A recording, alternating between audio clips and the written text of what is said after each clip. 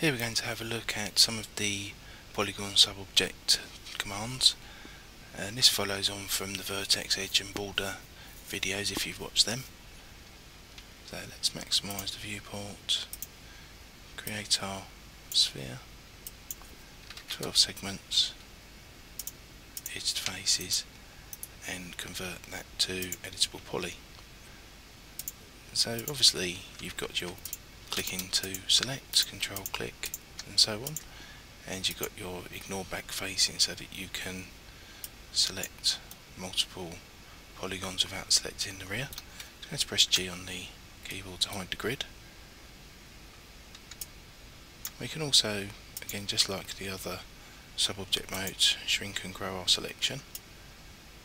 But we also have a whole host of commands that we can use to manipulate these polygons. And let's have a look at some of these. We have the buttons which we can click on and extrude if you hover over the selected polygon. You can interactively extrude a polygon. Um, ideally you would probably go for the settings button which gives you this caddy. And you can move and rotate the view while you're doing your extruding. So it's whichever one you prefer.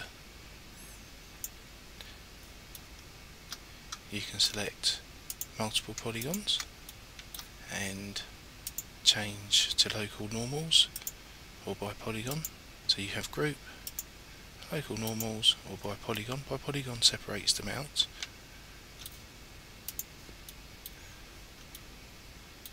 And similar to the extrude we have bevel.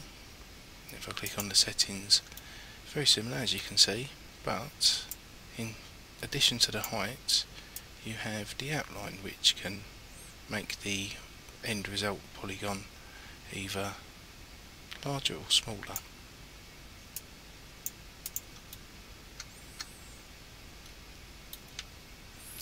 We have the outline command and here you can see it makes the selected polygon either bigger or smaller.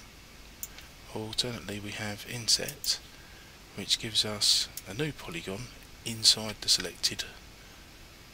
And you can see it's bordered by four more polygons here which this one can then be maybe beveled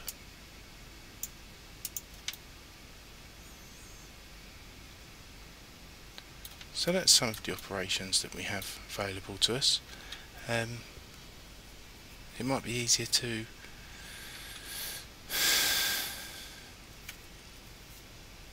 in the next video we'll cover some more of the commands such as the bridge and hinge from edge and extrude along spline.